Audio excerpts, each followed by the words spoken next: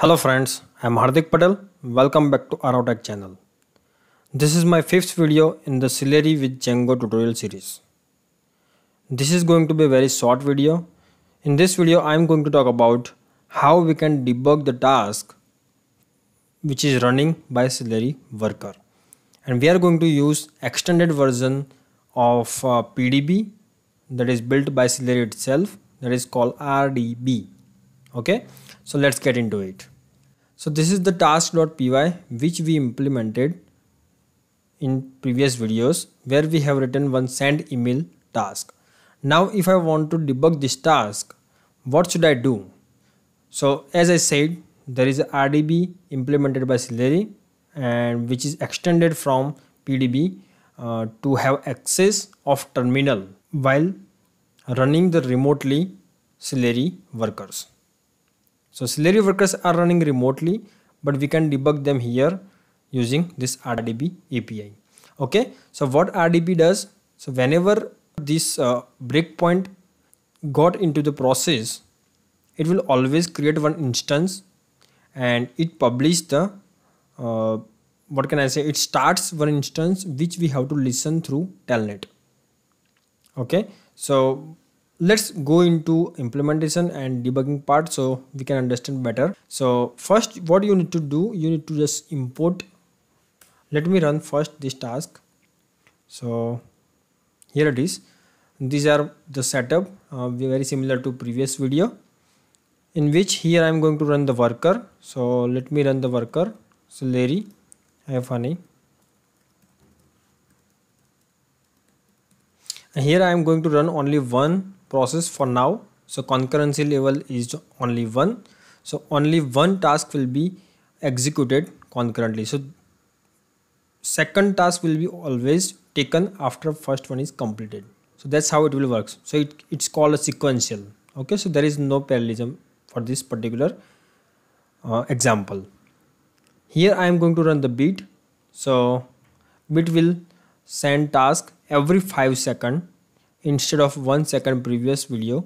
So it will send task every five seconds okay? So let me run this and this as well. So currently as you can see it started running and it will take a task from this beat and will start execution okay? But it will do only one by one. So as you can see only one is taken by fork pool worker one. So if uh, let's wait for five more seconds and we will see. Yeah as you can see second one is also taken by the same worker right? So that way uh, we can understand debugging better. So i will go forward uh, and then we will also run multiple workers so we can understand how this uh, debugging works. Okay so let's get into it first. Uh, okay so here it is. From celery dot contrib and just import rdb okay? And here uh, after this time dot sleep i just want to check uh, what are the email id and message. So definitely we could uh, print these variables using print statement or maybe using a logger library.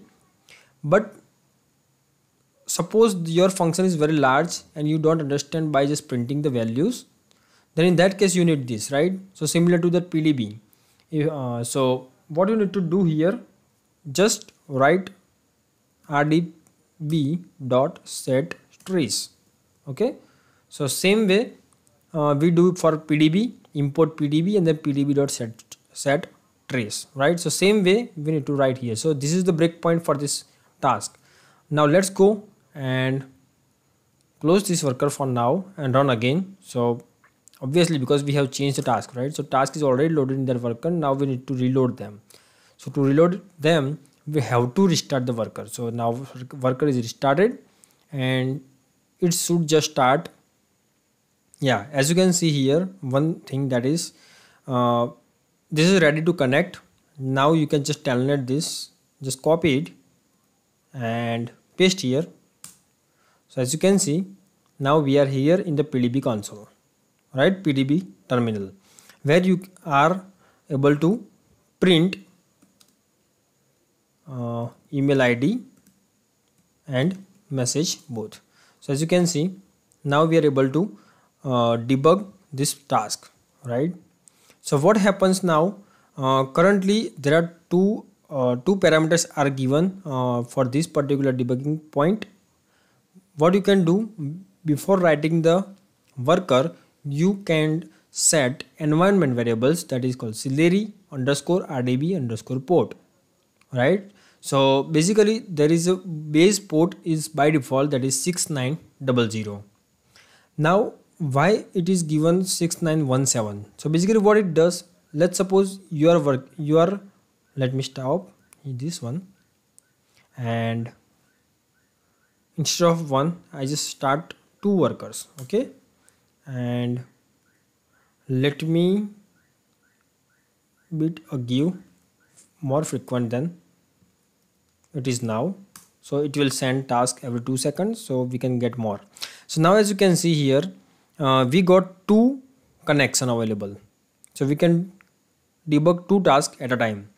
So what happened here that rdb uh, created one instance on this 6918 port which was available and then next is 6919 okay? So what happened here? So let's suppose you have eight workers are working eight sub processes are running and the same task is called and you have added one breakpoint in particular that uh, task then for all eight instances this should be debuggable right? So you you should be able to debug each and every task each and every process. You just need to give base port 6900 so it will take up uh, from available ports after 6901 2 3 4 something like that right?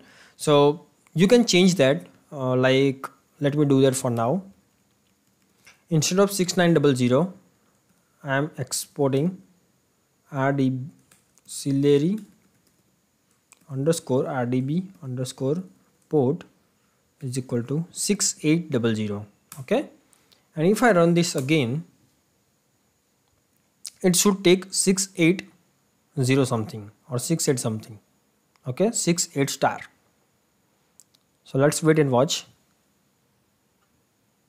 Yeah as you can see there are two processes are running and both of them started this debugging and it is stopped at the breakpoint with RDB instance on port 6802 and 6801 okay? So this is currently broken because it was previous we close abruptly. Now if you 0 01 as you can see here we are able to listen this particular RDB cell right using this 6 uh, telnet and 6801 port. Now if I continue it will stop and start one more task with the same worker right? So and also we can do this as well.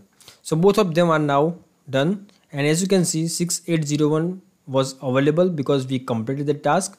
And because of that it is taken again right? So both of them. So that's how you can uh, debug celery task. So that's pretty much uh, from this video. And yes one more thing that if you want to understand and learn about how we can debug this task uh, through this pdb cell then please look at my uh, PD, uh, video, uh, previous video which was built on how you can debug python program using pdb okay? So yeah that's pretty much. Thank you very much